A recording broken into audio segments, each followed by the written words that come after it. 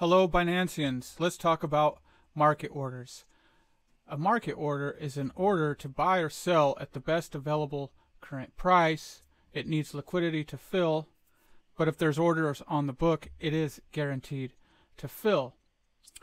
Um, a couple downsides to market orders are let's say I want to buy two Binance coins. The second I hit buy uh, buy BNB, it's going to fill my order with this price right here. But let's say I wanted to buy 200 of them at the current market price. It's only going to fill half of my order with this 111 and then it's going to work its way up the order book until it completes my order. This is what is called slippage.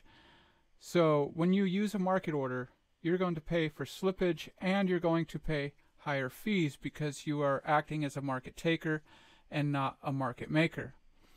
So how do you use it? It's really straightforward and simple. You simply put in the amount here that you want to buy or that you want to sell and you hit this button.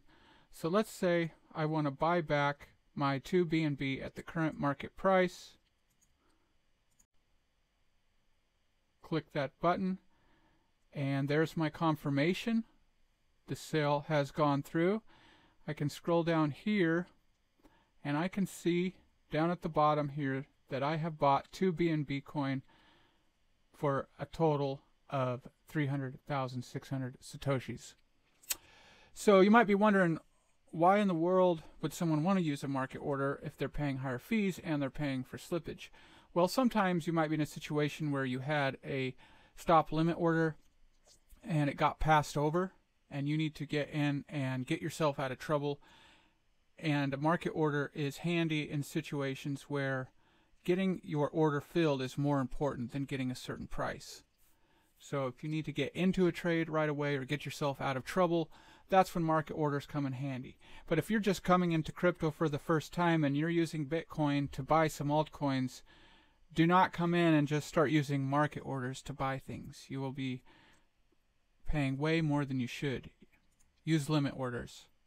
Okay, so that's what a market order is and how to do one.